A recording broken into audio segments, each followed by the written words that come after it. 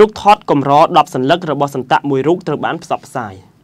រូបថត10សន្លឹកដែលមិនទាន់បានបោះពុំផ្សាយរបស់សន្តៈ PET-PO ឥឡូវនេះត្រូវបានផ្សាយផ្ទាល់និងបើកចំហវ៉ាទីកង់បានរាយការណ៍ថារូបថតទាំងនេះត្រូវបានផ្សព្វផ្សាយនៅចំថ្ងៃខួបរំលឹកការចងចាំរបស់សន្តៈ PET-PO ដែលជាអ្នកបង្កើតគំនិតផ្ដួចផ្ដើមឲ្យដំណើរការមូលនិធិសន្តៈ PET-PO លើកទី25 រូបថតទាំងនេះត្រូវបានគេ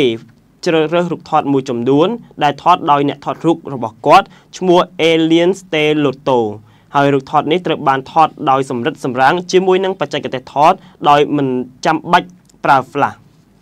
លោក Alien Stellotto កើតនៅក្នុងឆ្នាំ1935គឺជាអ្នកថតរូបអាជីពដែលមានរូបថតរាប់ពាន់សន្លឹករបស់សន្តៈ Francis នៅក្នុងជីវិតប្រចាំថ្ងៃក្នុងអំឡុងពេលប្រារព្ធពិធីបុណ្យផ្សេងៗ លោក Andre Tenili មន្ត្រីនៃក្រសួងទំនាក់ទំនងនិងផ្សព្វផ្សាយសន្តអាសនៈបាននិយាយក្នុងអំឡុងពេលសន្និសីទកាសែតថាលោកបូជិចា PO គឺជាសន្តៈដែលពាក់ព័ន្ធនឹងការផ្សព្វផ្សាយនាពេលបច្ចុប្បន្ននេះលោកជានិមិត្តរូបនៃប្រព័ន្ធផ្សព្វផ្សាយរបស់សន្តៈអាសនៈ